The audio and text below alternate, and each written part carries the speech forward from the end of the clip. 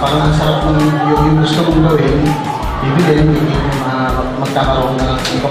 Hindi yung parang nag-drive sa akin na mag-shift na from, from yung ordinary na works ko sa ganitong, sa ganitong klase ng trabaho, which is nagkataon mo na talaga ngayon sobrang, sobrang blessed kasi kinuha ng mga gathering.